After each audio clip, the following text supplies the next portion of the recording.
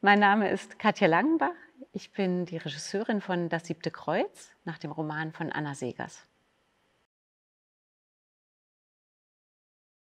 In dem Stück äh, Das siebte Kreuz geht es um einen KZ-Häftling, Georg Heißler, der gemeinsam mit sechs anderen Häftlingen aus einem Konzentrationslager ausbricht. Äh, wir schreiben das Jahr 1937 vor dem Zweiten Weltkrieg und ähm, dass äh, Deutschland sozusagen, äh, wo, die, wo die Nazis immer dominanter werden, ähm, wo aber sozusagen diese die Bedrohung noch nicht so direkt empfunden wird. Und wir begleiten diesen Flüchtling Georg Heißler äh, bis zu dem Moment, wo er quasi die deutsche Landesgrenze ähm, passiert und ähm, alle weiteren Flüchtlinge, die sechs weiteren Flüchtlinge, werden alle gefangen, aber er schafft es eben, er kommt durch.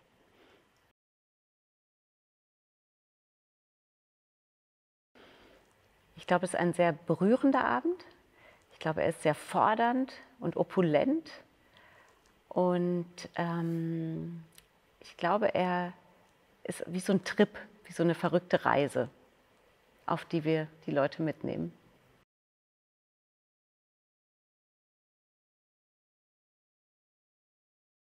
Ja, wie adaptiert man so einen Roman?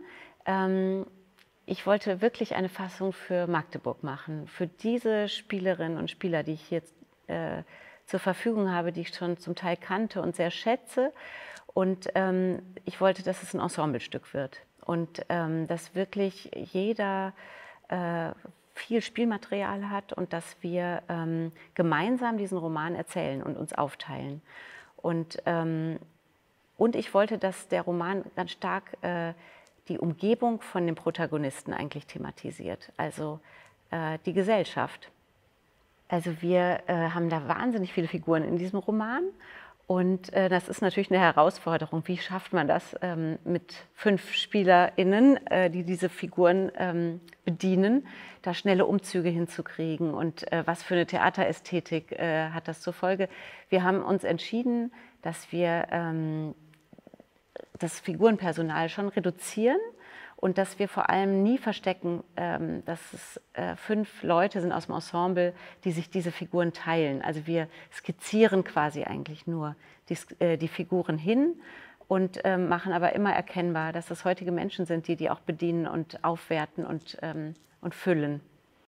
Und es gibt ähm, eine Figur, die wirklich durchgeht, die keine Wechsel hat. Und das ist eben dieser Flüchtling Georg Heißler, den wir begleiten von der Flucht vom Ausbruch aus dem KZ bis zu dem Moment, wo er wirklich die deutsche Landesgrenze überschreiten darf.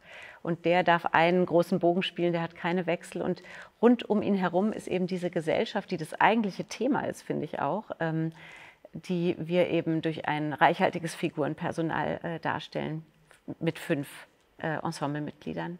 Der Roman hat ja wahnsinnig viele Situationen, Szenen, Menschen, Figurenwechsel. Und ähm, wir wollten aber mit der Bühne auch eine Metapher bemühen, eine Setzung, ein Lebensgefühl zeigen.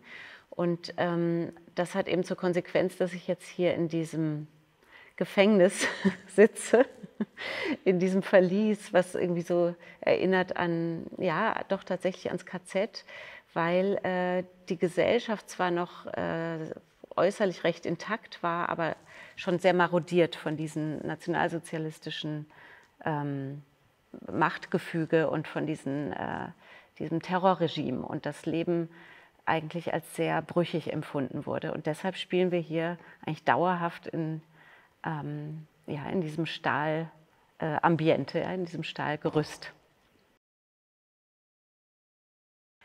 Ja, es gibt ein Thema, das mich total fasziniert an dem Roman, und zwar ähm, die Gewissensfrage, die sich jeder Mensch selber stellen muss und immer wieder neu beantworten muss im Angesicht des Schreckens. Also wenn die äh, äußeren Mächte, wie es heißt, auf einen einwirken und einen herausfordern, ist es mir dann noch möglich, Mensch zu bleiben, wirklich menschlich und human zu handeln oder stehe ich mir doch selber am nächsten, was ich auch nachvollziehen kann, und schütze meine Familie und ähm, verweigere die Hilfe.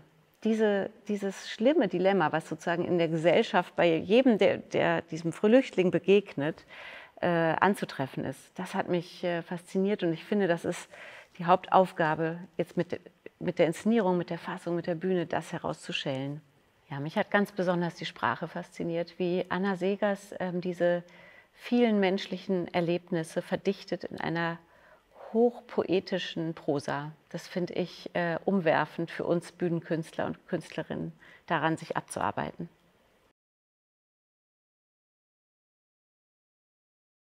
Ja, also ich finde, es ist unsere Aufgabe, immer wieder an diese Zeit zu erinnern ähm, und an, daran, wie, wie schnell uns äh, sozusagen äh, der Zugriff auch zu unserem Leben und wie wir das gerne führen würden, entgleiten kann, äh, wie schnell wir unsere Freiheit verlieren können und ähm, wie, äh, wie wichtig es ist, dann eben einen, einen Kern zu haben in sich der einen, und, und Werte, die einen tragen und weisen, auch durch eine schwierige Zeit hindurch.